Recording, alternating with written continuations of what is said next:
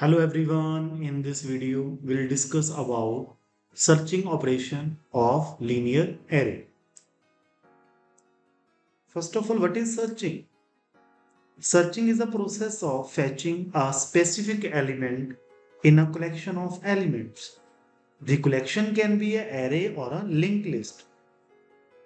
If you find the element in the list, then the process is considered successful and it return the location of that element. And in contrast if you do not find the element it seems the search unsuccessful. There are two searching algorithms to find the location of a particular element. Linear search and binary search. In this video we'll learn linear search what is linear search algorithm? Linear search is known as sequential search and it is the most basic search technique. In this type of search, you go through the entire list and try to fetch a match for a single element. If you find a match, then the address of matching target element is returned. On the other hand, if the element is not found, then it return a null value. Let's see the algorithm for linear search. Data is the name of the array and n is the total number of elements in this array. n is equal to 6 and item is the element that we have to search from a list. Item is equal to 12 and LOC is the location and this algorithm find the location LOC of item in the array data. LOC is the location that we have to find. First step is set k is equal to 1 and LOC is equal to 0. Second step is repeat step 3 and 4 while LOC is, is equal to 0 and k is less than equal to n. While LOC is equal to 0 and K, K is 1, 1 is less than equal to N, N is 6. True and true. Result will be true.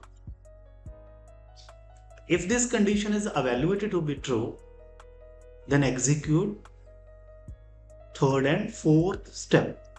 Third step is if item, item is 12, 12 is equal to data of k, data of k, k is 1, data of k is 8, 12 is equal to 8, condition is evaluated to be false. Then after that execute 4 step, k is equal to k plus 1. Now k become 1 plus 1 2. Again control transfer to second step. Repeat step 3 and 4 while LOC is equal to 0 and K is less than equal to L. LOC is equal to 0 and K, K is 2, 2 is less than equal to 6. Again condition is evaluated to be true. Then execute third and fourth step. If item is equal to data of K, item is 12 and data of K is 9. 12 is equal to 9 condition is evaluated to be false. Then fourth step, k is equal to k plus 1. k become 3. Then control transfer back to the second step. Repeat step third and fourth while LOC is equal to 0 and k is less than equal to L. LOC is equal to 0 and k is 3. 3 is less than equal to 6. Condition is evaluated to be true. Then execute third and fourth step if item item is 12 12 is equal to data of k data of k is 10 condition is evaluated to be false. Then execute fourth step. Set k is equal to k plus 1 now k become 4 again control transfer back to second step Repeat step third and four while LOC is equal to 0 and K is less than equal to L. LOC is equal to 0 and K is 4. 4 is less than equal to 6, condition is evaluated to be true. Then execute third and fourth step. If item is equal to data of k, item is 12 and data of k is also 12. Now in this case condition is evaluated to be true. Then set LOC is equal to K. Now LOC is equal to 4. Then K is equal to K plus 1. Now K become 5.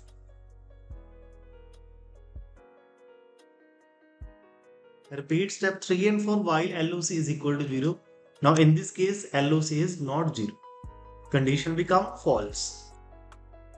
False and true result will be false. Then end of step 2 loop. Control transfer to the step 5. If LOC is equal to 0 then right item is not in the array data. Now in this case LOC is 4. Condition is evaluated to be false. Then else part is to be executed.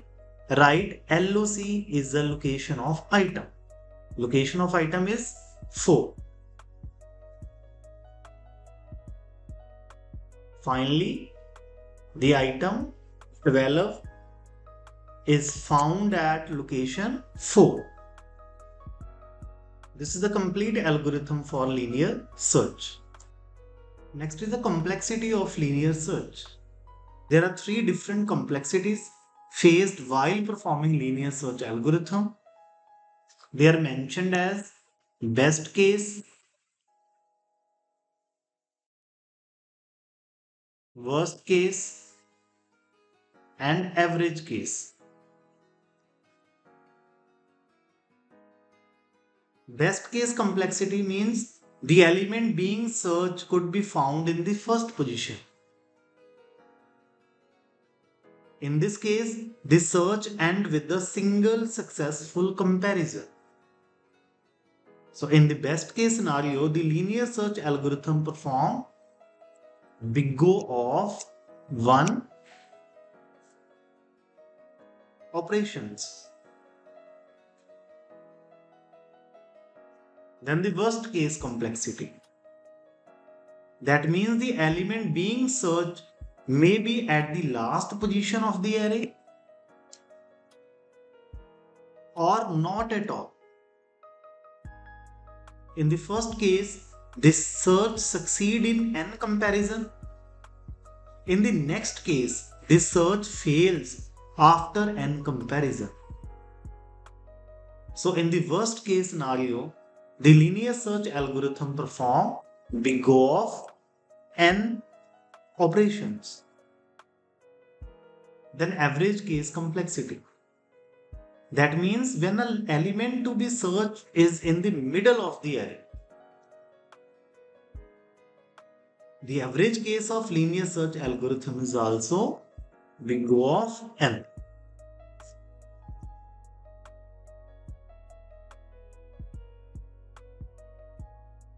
The next is application of linear search algorithm.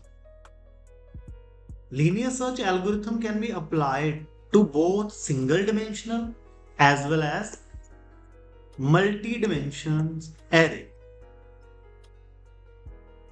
Linear search is easy to implement and effective when an array contains only a few elements. The linear search is also efficient when the search is performed to fetch a single search in a unordered list. Next is advantage and disadvantage of linear search. The advantage of linear search algorithm is that linear search can be used irrespective of whether the array is sorted or not. It can be used on array of any data type. And it does not require any additional memory. And it is also well suited algorithm for small dataset. And the disadvantage of linear search algorithm is that linear search has a time complexity of big O of n, which in turn makes it slow for large data set. And the linear search algorithm is not suitable for large array. Let's see the program for linear search algorithm. First of all, inside the main function, declare an array A. A is the name of the array and n is the total number of elements in the array and i is the variable for a loop and item is the element that we have to search from an array and c is the variable for a result and loc is the variable for location. First of all, input the size of an array. After that, with the help of for loop, input the array elements. Then input the element you want to search.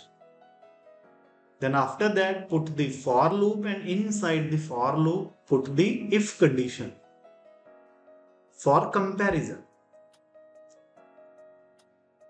And finally, if the value of C is 1, that means number found at position LOC, otherwise number is not in the list.